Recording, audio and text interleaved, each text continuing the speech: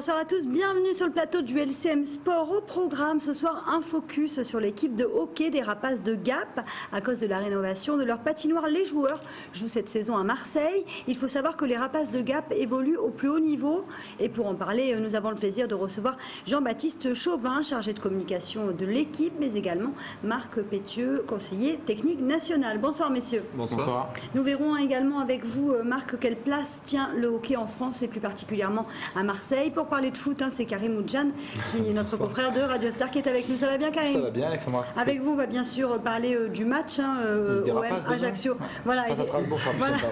Alors, donc, du match contre Ajaccio qui va avoir lieu samedi au Stade Vélodrome. Et puis, on va écouter aussi euh, Didier Deschamps hein, qui s'est exprimé cet après-midi en conférence de presse. Ça, ce sera donc en deuxième partie euh, d'émission. Mais avant, jetons un œil sur les événements sportifs qui vont avoir lieu ce week-end dans la région. Et on va commencer par le 24e tournoi international de badminton qui va se dérouler samedi et dimanche. Une très belle compétition en perspective. Alors si vous souhaitez y, participer et y assister, rendez-vous au gymnase du Val de l'Arc à Aix-en-Provence. Un autre événement incontournable, hein, même s'il ne concerne pas uniquement la région, c'est bien sûr la finale de la Coupe du Monde de rugby. La France euh, va affronter euh, les Blacks dimanche matin. Et euh, au RCT, hein, il y en a un qui a un avis sur ce match. Il s'agit bien sûr de Johnny Wilkinson. Je vous propose de l'écouter ils seront là, plein de confiance, mais en même temps, la France, ils ont gagné euh, les deux matchs, le quart final, le demi-finale. On sait que peut-être le, final, c'est quelque chose d'autre. C'est pas un autre match, c'est un match individuel. C'est complètement unique. C'est juste 80 minutes. Euh, et 15 contre 15, 15 jours contre 15. Ce que je sais, c'est important, c'est que euh, la défense, il faut euh, avoir une grande, grande défense euh, dès le début jusqu'à la fin. Lundi, vous découvrirez bien sûr le résumé de cette rencontre. On va rester avec euh, le RCT qui joue à l'extérieur samedi contre le Racing Métro, une équipe qui est sixième au classement. Donc c'est une bonne équipe. Je vous le rappelle, les Toulonnais sont quant à eux quatrième. Je vous propose d'écouter tout de suite Bernard Laporte, l'entraîneur du RCT, qui, nous qui revient sur la préparation de ce match faut mettre les choses dans l'ordre. Il faut respecter le, niveau. Être dominé, c'est pas toujours, comment dirais-je, euh, dramatique. Si dans ces périodes de domination adverse, tu fais pas de faute, tu donnes pas de points. on va jouer, on joue contre 15, on va, va pas dominer tout le monde. Quoi. Quand tu joues le Racing, ils n'ont pas le droit de perdre, donc ils vont, euh, ils vont être présents, ils vont vouloir mettre de la pression, etc. Et, dans ces moments-là, c'est là qu'il faut ne pas, ne pas lâcher. Alors Karim, on va s'arrêter euh, deux minutes sur vous. Là, qu'est-ce que vous pensez euh, du rugby, du RCT, de la Coupe du Monde ben, On est partenaire aussi du RCT avec Radio Star. Vous êtes partenaire avec tout le monde, avec les, les, rapaces de Gap également. Euh, autre que le web, donc du coup on en profite, au moins on se régale. non, du RCT, ça va se jouer sans John Van Nicker, vous savez, qui a été opéré hier du, thorax, le capitaine Sudaf, qui sera absent de deux mois et demi. très bonne équipe du RCT qui va beaucoup mieux depuis l'arrivée de, Bernard Laporte. Ben, c'est structuré, je pense que je ne vais pas apprendre ça à un conseiller technique national, que quand on a un, objectif en tout cas en commun sur du long terme avec, des joueurs, c'est plus facile que sur deux, trois mois c'est ça. Hein. C'était le problème de Philippe Saint-André qui partait. Et tout le monde savait qu'il partait. En tout cas, il cherchait à partir depuis 6-8 mois. Donc euh, les joueurs n'étaient plus concernés. Coupe du Monde, Karim, un pronostic très rapidement euh, Moi, je veux dire la Nouvelle-Zélande parce que j'ai du mal à penser que. Mais bon, après. Euh, Et vous, messieurs? Sur un malentendu, Oui, voilà, un gros malentendu. Quoi. Comme on dit hein, dans le jargon, sur un match, tout est possible. Tout est possible, Sauf que le ballon, il n'est pas rond, il est ovale, donc il ne tombe pas pareil pour tout le monde. Alors, on va revenir sur le ballon rond et sur les féminines de l'OM qui jouent euh, samedi euh, contre l'équipe de Cassis Carnoux dans le cadre des éliminatoires de la Coupe de France. La rencontre aura lieu à Cassis et le public est vraiment le bienvenu. Allez, on va parler à présent des rapaces de Gap qui eux aussi vont animer euh, le paysage sportif marseillais ce week-end puisqu'ils vont jouer contre Grenoble. Jean-Baptiste est-ce que c'est un match capital pour votre équipe bah, vous savez, pour nous, c'est le début de la saison. Donc, euh, bien sûr, c'est euh, un match capital. Euh, on se doit de bien figurer, surtout, surtout à Marseille. Pour, on s'attend à un match, un match difficile. on connaît l'équipe de Grenoble, puisqu'on l'a joué déjà deux fois en Coupe de la Ligue. cette année Cette année. Et vous avez gagné ou vous avez perdu On les a battus deux fois. par Jamais contre, 203. On espère, on espère. Mais euh, il faut savoir que sur le dernier match, on doit beaucoup à notre gardien Michael Zacharias, qui a fait un très gros match. donc on s'attend vraiment à un beau combat samedi soir à Marseille. Alors juste un instant hein, pour rappeler à nos téléspectateurs, la, la Ligue Magnus, c'est l'élite vraiment du hockey sur glace, c'est un peu comme la Ligue 1 en football, Karim ah Oui, c'est c'est Ça, c'est l'équivalent du, euh, du, top 14 en rugby, de, la Ligue 1 en football. Parce que c'est vachement plus resserré que la Ligue 1. la Ligue 1, il y a quand même des clubs qui servent un peu à rien, alors qu'ils ont quand même. C'est vraiment l'élite, il n'y a vraiment que des, que des, bons. Oui, si on regarde le classement aujourd'hui, après 4 journées, on est 7 euh, on est à 2 points du deuxième, donc euh, tout est jouable sur le, sur le week-end qui arrive. On peut, on peut très vite remonter, mais on peut aussi très vite descendre chaque match est capital. On, vous le souhaite en tout cas. Marc, euh, vous suivez, euh, j'imagine, toutes les équipes euh, de cette, cette élite, puisque vous, avez un rôle au niveau national également. Oui, bien sûr, on suit, on suit les championnats, on suit les joueurs, on, suit ça de, très près. Et c'est vrai que le niveau, le niveau du hockey évolue fortement. Il est, il est, sur, une bonne, sur une bonne dynamique, sur une bonne, une bonne impulsion pour pour rejoindre un petit peu, essayer de raccrocher les, pays de haut niveau euh, au niveau international. C'est quoi C'est le fait qu'on puisse faire venir maintenant des, Canadiens, tout ça, en France, qui viennent volontiers, enfin des gens de... Ça, ça, ça existe, ça, cet état-là dure depuis déjà pas mal de temps, hein, c'est vrai. Mais c'est vrai qu'on a, on a de plus en plus de facilité à exporter surtout les joueurs euh, français qui évoluent euh, dans les, dans les gros pays de, de hockey, dans les pays scandinaves, éventuellement même au Canada. Euh, donc ça, ça, permet de créer une émulation, ça crée, euh, ça crée un engouement pour les jeunes qui arrivent derrière en disant ben, les portes arrivent à s'ouvrir maintenant sur des pays d'un gros niveau. Alors je le disais en tout début d'émission, Jean-Baptiste, en fait, vous, normalement vous jouez à Gap, mais cette année votre patinoire est en pleine rénovation, donc du coup vous jouez à Marseille pour la saison, c'est uniquement pour cette saison? Tout à fait. Tout à fait. Euh, ah, La saison. La saison. non, non, mais, rester à Gap, hein, je crois. Non, non, c'est. Bah, fait une heure de route. on a, on, a, ouais, en effet une, une heure et demie, deux heures de route euh, pour venir, mais on est vraiment à domicile à Marseille. Euh, on le voit depuis, euh, depuis deux, trois matchs. c'est, on est vraiment très bien reçu par toute l'équipe de, de, la patinoire. on a de très bons rapports avec, avec les gens de, de, la ville de Marseille? Et et euh, notamment euh, l'adjoint au sport qui nous a accueillis vraiment euh, les bras ouverts. Justement, comment ça s'est passé au départ? Ils n'ont pas été réticents C'est vous qui êtes, qui, qui, leur, qui êtes venu, qui leur a dit bon, ok, on veut jouer à Marseille, on n'a pas d'autre choix? Non, non, c'est vraiment un choix de se rapprocher de, de se rapprocher de Marseille. il y avait plusieurs possibilités, notamment jouer à Briançon, qui, qui, est dans le même département, qui est, qui est très proche. Par contre, c'était vraiment un choix de venir jouer à Marseille pour ben, faire connaître notre ville, notre sport aussi, euh, sur, euh, sur une ville qui euh, qui respire pas encore assez le, hockey sur glace. Il a raison, Marc. Marseille ne respire pas le hockey sur glace. Qu'est-ce qui manque aujourd'hui? Ben, Au départ, oui, ce qui manquait, c'était l'installation, c'était la, pratique, de pouvoir pratiquer ce, sport à Marseille. Et je crois que ça a été une opportunité exceptionnelle, le fait de refaire la patinoire de Gap et l'arrivée de, ce, de cet équipement qui est, qui est tout aussi exceptionnel parce que c'est un équipement qui, répond à des normes internationales et sur lequel euh, euh, on mise beaucoup. Euh, donc l'arrivée de Gab va permettre aux Marseillais déjà de rentrer en contact tout de suite avec le, plus haut niveau du hockey euh, français. Et puis en attendant l'équipe de Marseille qui, euh, qui se met en place et qui démarre et qui en espère ensuite prendra la relève à la suite du départ de Gap. Parce que justement Marseille est en Détroit, Aubagne est en Détroit, il y a aussi un club à Aubagne. oui, bien sûr. C'est ça, c'est les prochains derbys ça, de haut niveau. C'est un derby qui, a eu lieu d'ailleurs la semaine dernière. Oui, c'était Aubagne-Marseille. Hein, je crois qu'ils ont fait match nul, c'est ça. Donc c'est vrai que c'est sympa de promouvoir d'autres sports. C'est Richard Miron que vous avez rencontré sport qui est, qui, qui, est vachement intéressant à ce niveau-là, Richard Miron, c'est qu'il n'est euh, pas tout sauf au football, mais presque. C'est-à-dire qu'il est pour la pratique de tout, d'aider tous les autres sports à se développer sur Marseille, parce que le football n'a pas besoin. C'est vrai, aujourd'hui on a l'impression, on écoute un peu les Marseillais, il n'y a que le football, il n'y a, a, que l'OM. Qu'est-ce qui, qu'est-ce qui peut faire changer les choses? Pourquoi finalement le hockey sur glace n'est pas vraiment populaire en France en général et puis à Marseille?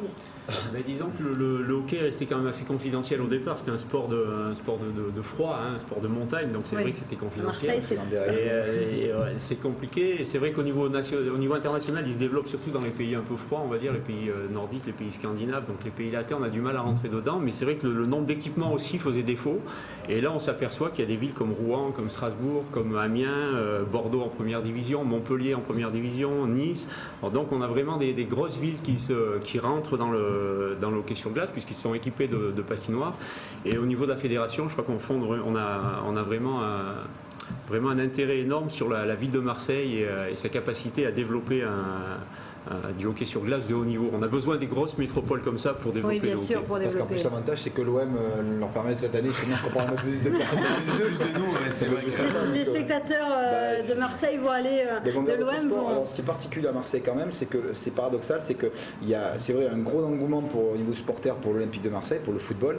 Mais par contre, au niveau de la pratique, moi par exemple, je fais du triathlon et je sais que voilà, une fédération, il y a quand même pas mal de monde. Il y a pas mal de monde à Marseille, Marseille. bien sûr. Marseille Cassis, c'est 13 En 500 basket personnes qui vont courir le week-end prochain. Vous allez courir, Karim Ouais, je vais le faire aussi. Et vous, messieurs Donc c'est vrai qu'il y a, il y a autre chose. Moi, quand je l'ai fait deux fois. Je l'ai fait deux fois. Je...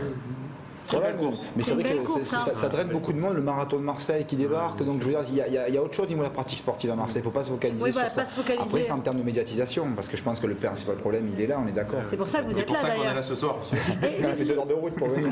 Combien vous avez de spectateurs en moyenne là, depuis les, les quelques matchs euh, que vous avez disputés à Marseille? Euh, on a un 1000, euh, entre 1000 et 1200 personnes qui viennent, euh, qui viennent voir les matchs à Marseille.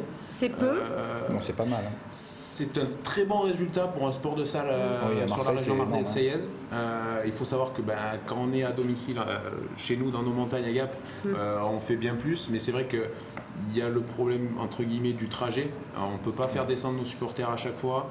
Ça coûte cher aussi. Ça coûte cher, Euh, mais par contre on est, tr- on est content de l'affluence. On veut vraiment faire plus parce Oui. qu'il faut savoir que Marseille, la ville de Marseille, s'est équipée de la plus grande patinoire de France.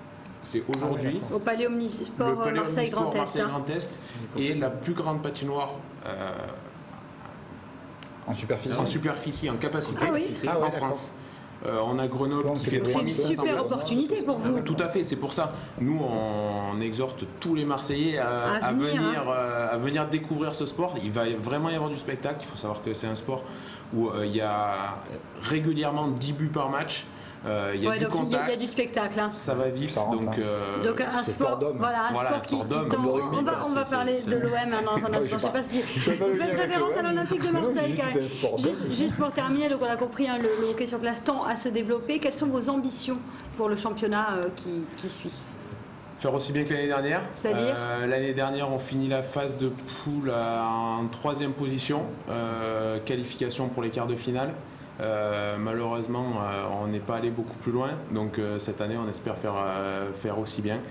Qualification pour les quarts de finale, je pense qu'on a de, bonnes chances quand on voit les résultats de l'équipe et, l'osmose qui prend. Maintenant, on, on attend tous les Marseillais. Allez, c'est tout ce qu'on vous souhaite. hein. Merci, on va le rappeler, hein, le match des Rapaces contre Grenoble, c'est samedi à 18h au Palais Omnisport Marseille Grand Est. hein. Et puis vous l'avez dit, Jean-Baptiste, le public est évidemment le bienvenu. Tout de suite, on parle foot. Thank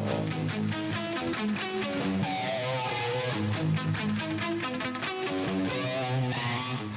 Et samedi, euh, l'OM affronte Ajaccio au Stade Vélodrome pour le compte de la 11e journée de Ligue 1. Dans un communiqué de presse, euh, les supporters euh, annoncent une grève des encouragements, donc pas d'encouragement au Stade Vélodrome euh, samedi. En cas de contre-performance contre Ajaccio, à quoi doit-on s'attendre, Karim? À quel niveau? Il y a- trois niveaux. Il y a un sportif, euh, au niveau de l'impact au, niveau des, au niveau supporters, s'ils n'encouragent pas samedi, qu'est-ce qui va se passer si l'OM perd? Bah, c'est vrai qu'ils sont particulièrement bien disciplinés par rapport aux années 98-2000 on a connu des périodes où moins que ça, ça avait été beaucoup plus chaud. Donc là, ils passent par des voies officielles, Oui, c'est propre. officielles, hein. Donc je trouve que de toute façon depuis le début de la saison, on peut rien leur reprocher, absolument rien aux supporters. Donc ils sont dans leur démarche, voilà, de trouver un consensus pour essayer de trouver quelque chose. Ils sont dans le même état d'esprit que nous aujourd'hui à se demander quelle solution. Aujourd'hui, euh, bien malin celui qui pourra nous dire. Alors, dès le début de saison, les deux trois premiers matchs, on s'est dit tiens, Ouais, une bonne première mi-temps, la préparation physique, on n'a pas eu de réussite, machin. Bon, après, on s'est rendu compte que ça tombait de moins en moins bien. Enfin, oui, Mercato, ça c'est autre chose.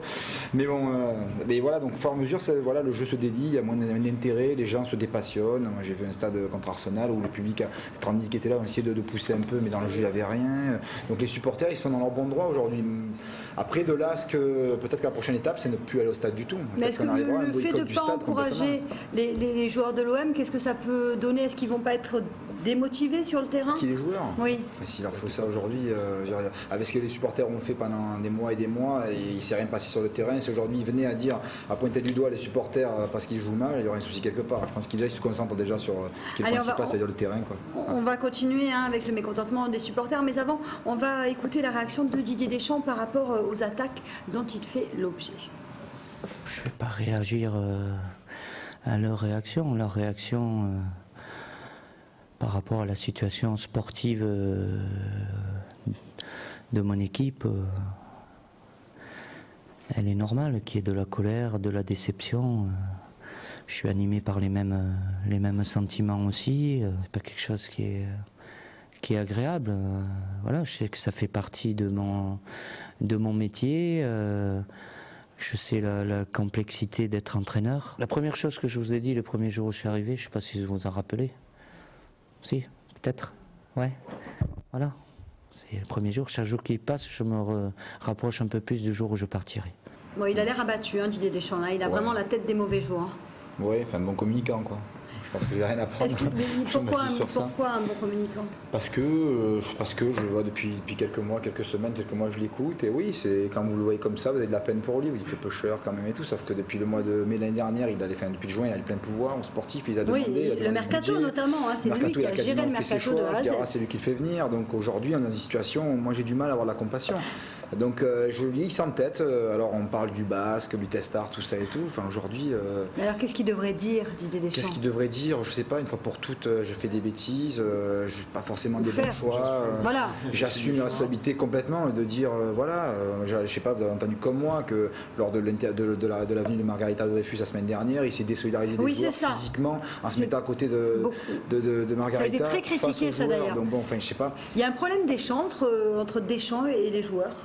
Si vous demandez mon avis personnel en tant qu'ancien joueur de football, mais pas de très haut niveau, mais qui a quand même joué et qui fréquente quand même les vestiaires de, certains clubs, euh, moi on m'a toujours dit et j'ai toujours vu que voilà, les joueurs, oui, euh, quand ils en ont marre de l'entraîneur, ils peuvent le lâcher. Mais là aujourd'hui, c'est, je ne sais pas si on en est arrivé là parce qu'on est quand même à l'OM et qu'il y a quand même des gens euh, qui, font un petit peu le lien. Je n'ai pas donné de nom parce qu'on va encore me, taxer de proche d'un tel, d'un proche d'un tel. Alors je suis proche de personne. Un journaliste ne donne jamais ses sources. Exactement, mais juste c'est vrai qu'il y a des gens qui, qui, font encore le lien au club, qui permettent encore à certains joueurs de rentrer dans rang. Mais je peux vous dire oui, pour en connaître quelques-uns à l'extérieur, qu'il y en a certains qui en ont un petit peu marre depuis quelques mois du management de Deschamps.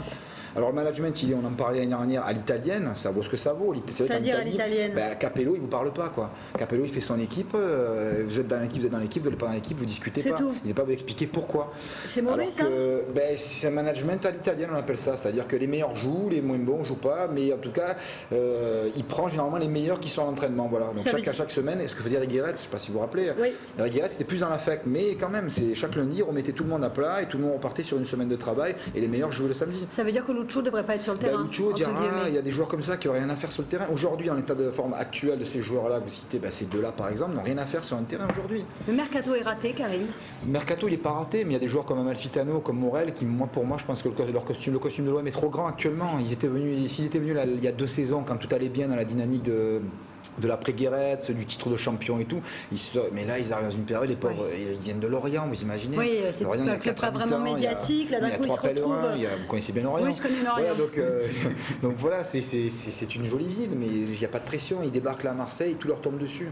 Est-ce que le départ de Deschamps serait la solution Les winners ont carrément demandé euh, que Deschamps s'en aille. Le problème qu'il y a aujourd'hui, c'est que c'est fantasmatique, enfin, fantasmagorique. Il partira jamais. Il a un contrat de deux ans encore en plus qu'il avait signé prolongé. 10 millions d'euros. 10 millions d'euros en cas de licenciement. Mais, qui pourra payer Oui, mais alors, outre le fait de l'argent, là, si Deschamps euh, voit qu'il n'y arrive pas, qu'il y a de très mauvais résultats, euh, il va rester quand même.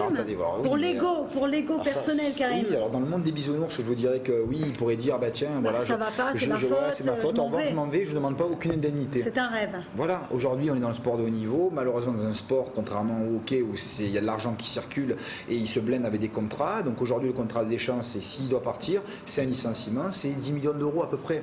Bon, mais voilà, donc Deschamps dans la position de se dire, ben, aujourd'hui, moi, je vais continuer avec, mourir avec mes idées. Mes idées, c'est celle-là. Après, bonne ou pas bonne, on verra dans quelques semaines. Autant dans quelques semaines, on fera un plateau. Et je vous dirai, ben, on est qualifié pour avec des champions, trois matchs consécutifs, trois victoires, on est quatrième au classement, ben, tant mieux. Il a, eu raison de, continuer. Ce qui m'étonnerait, mais on verra.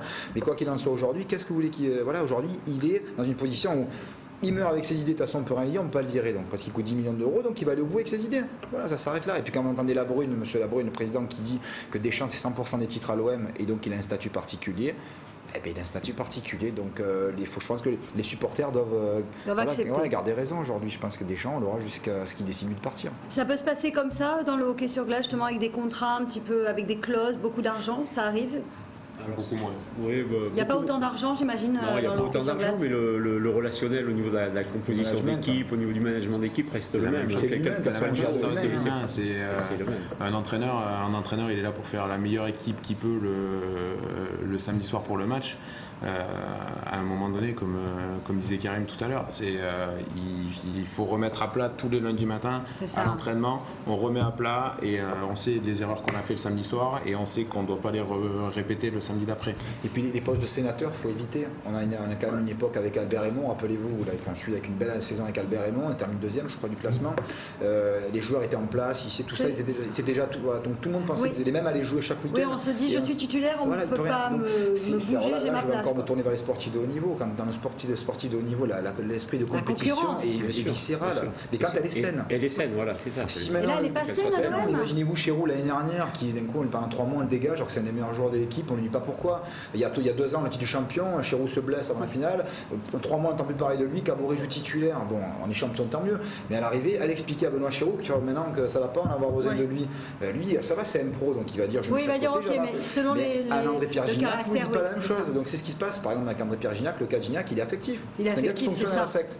Donc il sort dans un club qui est pourtant son club de cœur avec un entraîneur qui ne l'aime pas. Mais clairement il a dit en arrivant quand on l'a recruté, Ah, il a dit Rémi Gignac c'est pas mes priorités. Le jour où les joueurs signent. C'est vrai, Je on sais s'en pas, souvient. Rémi c'est un caractère. Oui, Rémi, c'est un bon c'est- joueur, hein. c'est- l'école lyonnaise, c'est là, c'est carré, c'est propre, ça travaille, ça dit rien, ça balance, ça joue. Voilà. Mais par contre, euh, Gignac c'est un affect, c'est un latin. Donc on est dans le. Voilà, si vous dites pas qu'il est beau, qu'il est gentil, ben voilà. Allez, on va écouter tout de suite euh, notre ami Dédé de Roca qui nous parle le du match de samedi. C'est pareil. Lorsqu'on parle de l'OM en championnat de France, on se dit qu'il n'y a pas encore le feu au lac, mais enfin, il ne serait pas inutile de chercher à savoir où sont les lances et la grande échelle. Ça pourrait toujours servir. Or, il se trouve que l'OM va aborder deux matchs là, de championnat qui semblent à sa portée. On reçoit Ajaccio, nouveau promu qui vient de prouver face au PSG qu'il n'était pas un épouvantail. Et ensuite, on va à Dijon, une autre équipe qui, après avoir mené 2 à 0 contre Montpellier, a pris 5 buts. Donc, c'est deux victoires qui semblent promises à l'OM. Je dis bien qui semblent, car on ne sait jamais avec les Olympiens ce qui va se passer. Alors c'est simple. Si l'OM gagne contre Ajaccio et gagne à Dijon, eh bien, au classement, les Olympiens vont faire un bond en avant, vont peut-être se retrouver dans la première moitié du classement, et tout ira bien, tout ira pour le mieux dans le meilleur des mondes olympiens. Mais, mais, si l'OM se fait accrocher au vélodrome contre Ajaccio, et se fait accrocher à Dijon, c'est-à-dire si l'OM augmente son capital point de deux unités seulement, alors là, mesdames et messieurs, on se promet des lendemains qui déchantent. Allez, Karim, à quel match on doit s'attendre samedi au Le mot Vélodrome des chantes, j'ai bien aimé. Euh, mais c'est des deux rocs. Dédé de Roca. Euh, demain, on s'attend quoi? Un stade euh, ben, qui va être silencieux, ce qu'on disait, un Ça va vent, faire- ça donc va ça va faire être drôle, hein. une tribune vide, euh, et puis un adversaire qui va, il va jouer son batou. C'est un adversaire qui est, enfin, moi je les ai vus le- toute la saison, de toute façon depuis le début de la saison. C'est une équipe qui est, qui est valeureuse, qui est comme les équipes promues, qui va jouer le coup à fond. C'est la première fois qu'ils reviennent au Vélodrome depuis quelques années. Ils ont un bon coup à jouer, et puis surtout ils savent que Marseille va pas bien. Donc, Ouais, sur- ce qu'ils- mais sur le papier, il n'y a pas photo quand même. Ouais, il y a Ilan, enfin, je sais pas s'il va titulaire demain Ilan, s'il a, mais il y a Ilan, il y a des Medjani, il y a des joueurs quand même qui ont peu d'expérience euh, de, de la Ligue 1. Mais au-delà de ça, c'est une équipe qui va jouer son atout. Donc partant de là, euh, le ballon pour le coup, Sur un match, est pas tout est ovale. possible. Allez, on va regarder rapidement les matchs de cette 11e journée de Ligue 1. Samedi, Caen qui va affronter Montpellier, Evian qui se déplace à Sochaux. Vous le savez, l'OM affronte Ajaccio, Lorient, Toulouse. Dimanche, le PSG reçoit Dijon. Il y aura un très beau Lille-Lyon Ah, c'est, dimanche soir. Karim Le football sera à Lille ce week-end. Ouais, voilà, le, juste vous le- dire le ça. football hein, avec euh, Lille et Lyon. Est-ce que le. PSG va garder son fauteuil de leader? Euh, Il y a des chances, puisqu'il reçoit, reçoit Dijon, je pense que ça va bien se passer pour eux. Et puis, ils sont au-dessus de tout le monde. Et puis Lille-Lyon, il y aura du grabuge. Donc, euh, donc je pense que Paris euh, pourrait même pousser un peu plus son avantage sur les autres. Allez, euh, merci en tout cas à tous les trois euh, d'avoir été pas, 18 avec nous. demain. 18h demain, Demain, le 18 match heures. euh, des Rapaces contre Grenoble. Voilà. On, pleine, on- on rate, on rate le match de l'OM. Allez, merci Non, euh, messieurs. Allez, euh, on va se retrouver euh, lundi. On débriefera évidemment ce match entre l'OM et Ajaccio. Merci de votre fidélité. Passez une excellente soirée et un très bon week-end.